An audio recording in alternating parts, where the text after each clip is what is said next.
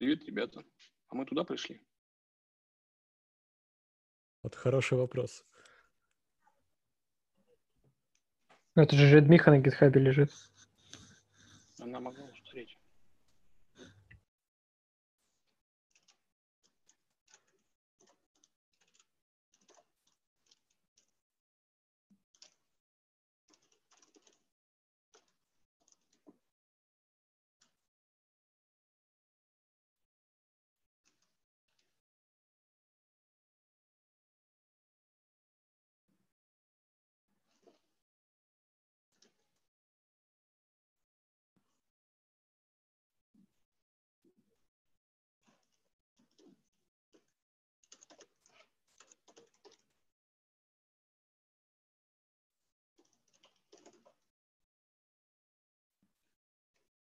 Ладно, подождем.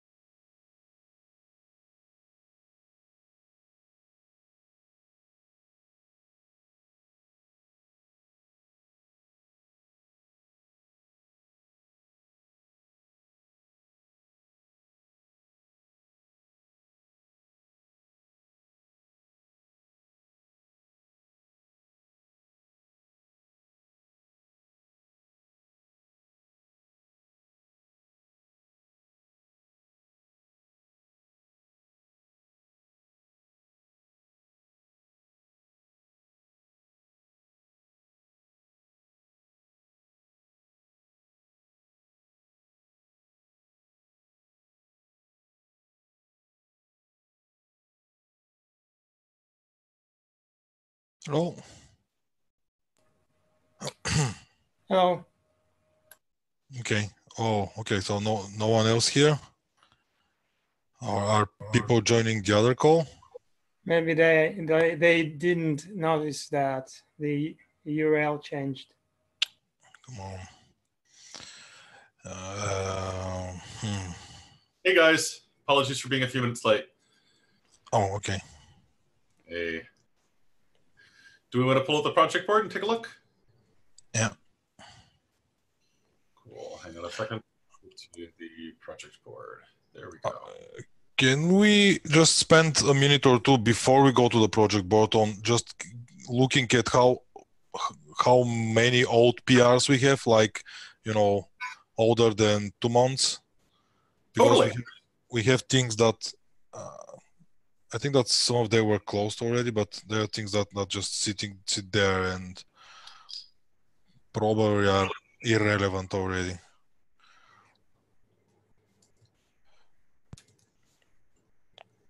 Just mostly as a reminder, not really as something that we need to deep delve into, but uh, are you sharing something? Because I don't see. No, no, no. Hi, because you said Yeah, hello, hello. you said you wanted to do something before we dove into the board. So Oh, okay. Yeah, I mean, uh, I don't have it open. Uh, yeah, just just we have a couple of PRs which are kind of I don't know since back from September or even earlier, uh, which Okay. I think that they don't uh, make. Uh, eh, yeah, I'm unprepared. Should I share? go ahead. Yes. Sorry. Okay, so this one. Uh, PRs. so if we look at this one here, so this is everything that predates. So there is a thing from Radoslav that sits there forever. It's about IPv6 testing environment. Is this still something that we want, or I just can't remember? It's quite old thing. I mean, it's a the the yeah. I mean, the the, the question I guess is, um, I, I I suspect that something actually got done here, or Uh, maybe it is just gone stale. No, it, it's gone stale, but uh, the thing is, uh, is it something that we still feel that we want? Um, Uh, I would love to see IPv6 testing. Um, I think it's going to be important to us um, because a lot of a lot of folks are going to have IPv6 stuff going on.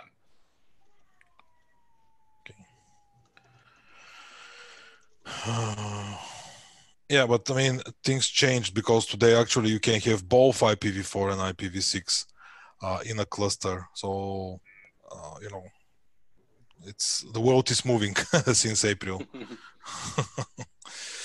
so uh, if, I think that, that we need to somehow reconsider what what actually we want here in this new world. Uh, that's uh, probably better description of it. Okay, then we have a, a, this thing about the device plugin, which I somehow suspect that is still a thing in terms of we want to get rid of it, but um, I'm not sure it's if it's still.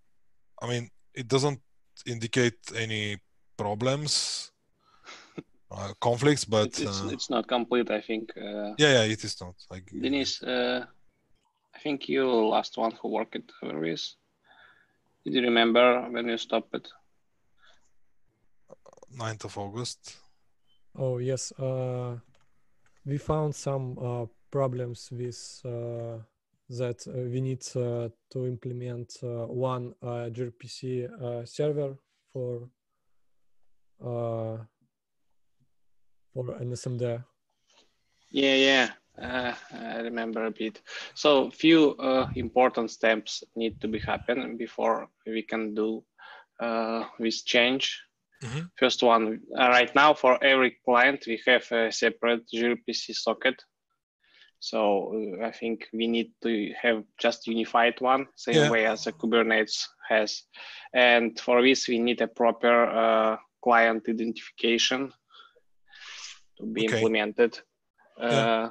And also this involves uh, the workspace management we have right now using a device plugin. So uh, we need to somehow solve this issue with uh, assignment of uh, separate subfolders for the MEMIF and for the endpoint uh, Unix socket to be uh, securely independent uh, one from another. So uh, until these problems will be solved, uh, I'm not sure if it will be easy to get rid of a device plugin. Yeah, I think. yep.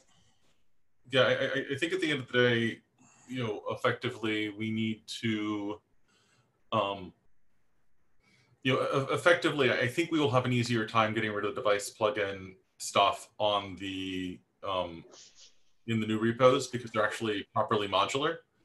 Yeah. Um, you know, there, there there would be major, major, major surgery to get rid of it here, and it would be relatively minor surgery to work in that direction um, in the, the new repos.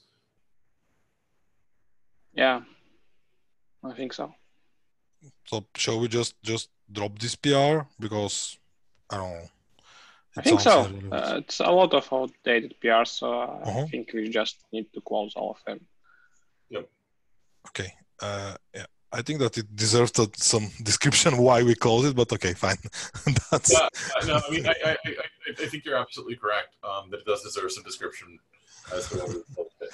at least a sentence. I mean, it's stayed for half a year here. then suddenly Yeah. just doesn't. okay.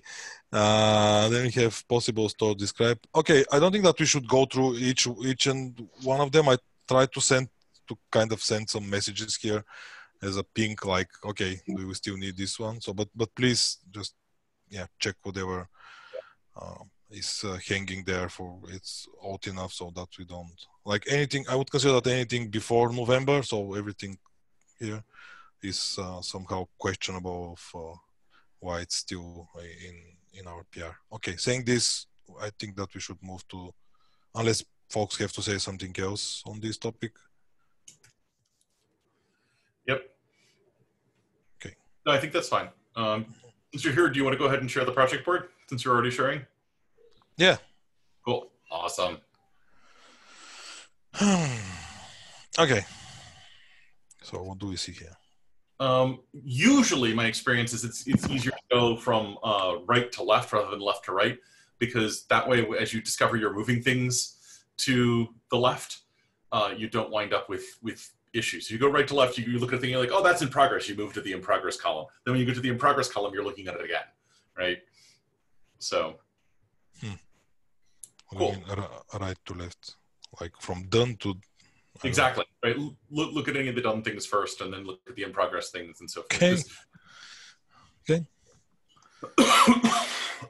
yeah. So, by the way, uh, Denise, you're doing a great job picking up uh, a lot of the small things in the to-do co- uh, comments, like th- this one here on the add dial client op- client dial options to connect server, right? Re- there, there was a to-do comment in there. It turns out not to be super difficult, and this this literally lets us get rid of a whole bunch of our. Um, we have an insane amount of dial machinery currently. Hmm. Um, this literally lets us get away from that because we we have uh, gRPC dial options for any of the things that knobs that we might want to turn, and because we can pass that in at, to the constructor for the Connect server, now we don't have to go use our own bespoke dial libraries. We can just use the gRPC ones, which is cool. So. Um, also, other things that were really cool that landed, SRv6 landing made me happy. The DNS stuff made me very happy as well.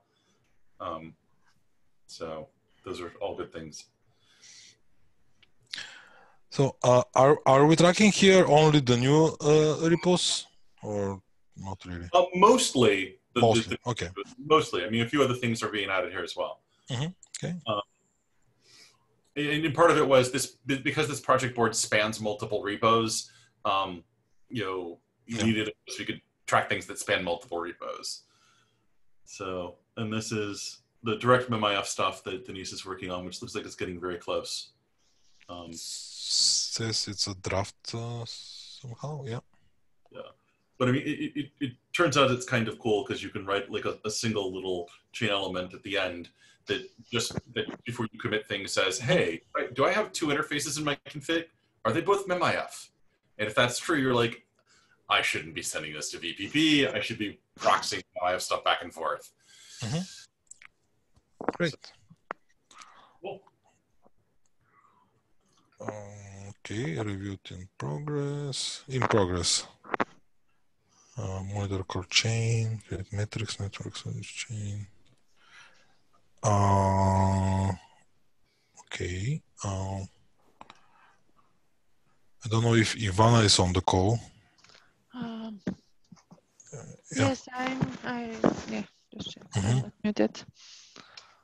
Uh, I know that there has been something. Uh, uh, is there an im- implementation here? I got the impression that there was a PR about it. Oh, yeah, it's in the. Uh, if I'm not wrong, is it's it the same PR that is in the API repo? Ah.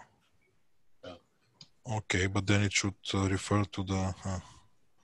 So I, by the way, Ivana, I'm really liking the, the idea you're, you're pushing of, of reporting metrics directly up into Prometheus. Um, I, I think that ends up being an amazingly Okay. cool thing. And, and one of the things that occurred to me is because we're pulling metrics along the path, um, you could imagine a client being able to report up metrics to Prometheus, and the client, because it's getting the metrics from the path, is now able to see its the metrics for its entire path. Yeah, actually, the current Prometheus integration is not updated to support path. But uh, what I think maybe uh, we need, uh, I don't think if we are going to uh, have the new API soon, it doesn't make many sense to update the integration with the path and then add the whole refactoring and doing from again. So maybe we need uh, to directly implement that after having uh, the new API. Yeah, and- what and- to think. Uh, yeah.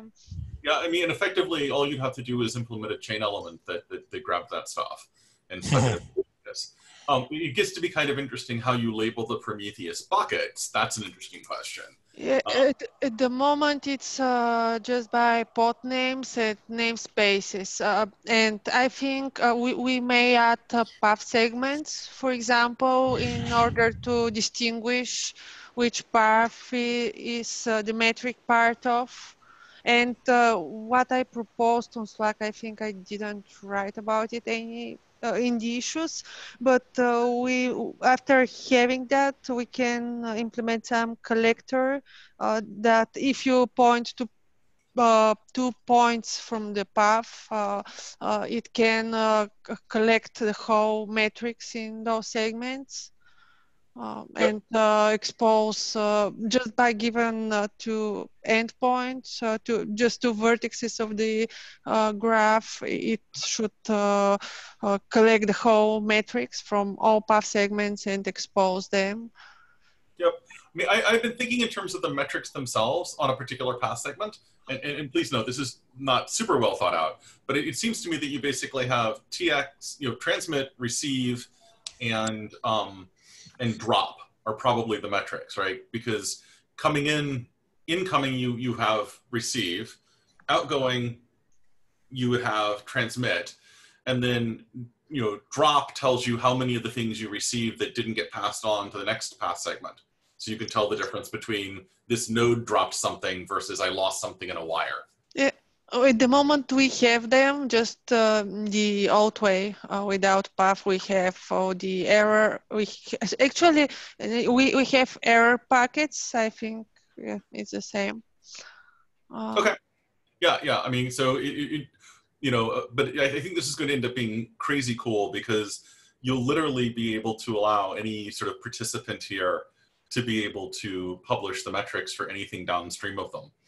Um, I'm actually, but uh, I'm preparing something from the uh, next call, uh, from the community call uh, that today uh, with uh, different tools. We, can stop on one uh, that is good for visualizing. Once we have uh, uh, everything in Prometheus, so we can have a good observable way to see the network topology and see the packets going on between different segments. Uh, uh, and etc. We, we can discuss that in more details in the community meeting later, maybe. Uh, uh, this is separate. This is just for the visualization itself. Uh, no, I think this is great, it is we, probably for the community meeting though, because we, we've only got 11 minutes before we got to go jump in the community call. So, and it's a different WebEx than this. So, but no, I'm, I'm super excited about this stuff. Um, but cool. Okay. What else we want to point here? Mm, I, I think good stuff is happening. Uh, Radoslav, you, you probably saw the, do we have Radoslav on the call? We don't. So there, there are some, um, so we do have Zemek though. Zemek just landed mockable, um, mockable kernel stuff, um, basically mockable netlink pieces uh, in the SDK kernel repo. So hopefully things will go relatively cleanly from there. Is there anything you want to say about all that stuff, Zemek? Um, hi. Uh, yeah, it was part of the initial uh, SRIOV POC PR, and I decided to uh, take part of it and uh, and push against uh, SDK kernel repository. Uh, yeah, beyond that, I created a new issue in the SDK kernel repository to uh, start moving uh, other pieces of that PR uh, to the SDK kernel. So I'm planning to work on that uh, in the upcoming days. Awesome. Good. Cool. Um, also, um, Denise, how is the fan out plugin upstream in CoreDNS going? Oh, uh, I, I've asked guys from CoreDNS about moving uh, fanout plugin, uh, and they don't mind don't mind uh, to make it as an internal plugin. Um, so uh, I have provided uh, VIP PR, and I need to complete requirements for new plugins. Cool. So th- this is awesome because this means that in the not too distant future, we'll just be able to use off the shelf CoreDNS instead of having to build our own. Oh UDP. Okay. what do you mean by UDP? Is is it TCP or what? what why UDP? Oh, it is uh, the transport uh, protocol for uh, DNS. Uh, The default should be UDP, from what I remember. Oh, it uh, can use TCP for transport. Yeah. So so basically, usually you use UDP for DNS. You can the, the three transports I'm aware of for DNS are there's UDP, which is what you usually use. There's TCP, which doesn't get used as often. Yeah. Um, um, and then there is very recently um, uh, DNS over HTTPS. And so we probably want to make sure that, that all those protocols are supported. Um, but but but basically look we want to look at what they're doing um, probably in something like forwarder to see like how they're they're getting that. I mean, my question was, I would assume that we by default support only UDP, not that we need to add support for UDP. But okay, fine. That that's these are details probably. Cool. Okay. Cool. Um, is there anything else that folks want to call out on the in progress list since we're running a little close on time? Uh, I'm a bit late with the metrics stuff. Still working on it. Uh, plan to up- update my pull requests today. So uh, la- latest idea is to put uh, the metrics into the path segment. So I've changed my pull requests. Uh, in some areas it's easier and uh, less code. In some areas it's uh, a bit more. not not so easy, but I think in general it will be better to put the metrics into, into the path itself. yeah I mean, one of the nice things about putting them in the path segment itself is that a, a pod always has the option of refreshing a, a connection at any point, right? So yes, there are timers and it needs to refresh before a certain place, but it can always refresh early. Um, and that can essentially allow a pod to pump metrics if need be. So if you think that something is wrong, you can pump your metrics and find out what the metrics are telling you, which is kind of cool. Um, Okay. A cool idea uh, with putting uh, metrics into the path. It's uh, what the metrics will be propagated uh, to the client and back to the uh, endpoint. So all the items will know the metrics. Cool.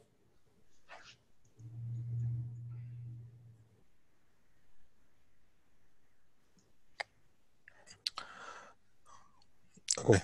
So shall we close and have some time to switch to the next call? I'm cool with that if everyone else is. Cool. All right. Catch you guys on the next call. Okay, see you. See ya. See you. Bye bye. Bye.